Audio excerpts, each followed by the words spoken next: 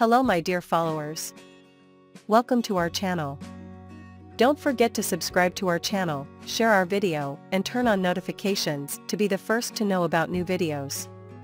The names I will talk about today are Hande and Kerem. Hande and Kerem are currently leading their lives calmly. A big change happens in Hande's life, she never gives interviews to the tabloids. Kerem, on the other hand, gets bored with people or goes on vacation to another country to get away from them and takes only his best friend with him. It is said that the handsome actor really had a lot of fun during this holiday. He even chartered a helicopter for this vacation. One of the reasons why the handsome actor is tired of people is his situation with Hande.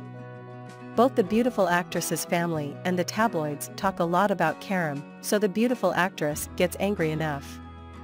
Like everyone else, Kerem is uncomfortable with this situation. Hande gave an interview the other day and talked about the handsome actor in this interview. The beautiful actress Hande was caught in the tabloids the previous day and had a deep conversation with them. The beautiful actress Hande was not bored and did not hesitate to give an interview.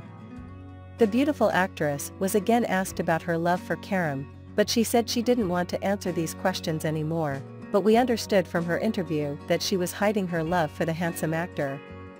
You can share your valuable opinions with us in the comment section. Don't forget to subscribe and turn on notifications for more videos. See you in other videos. Take care of yourself. Goodbye.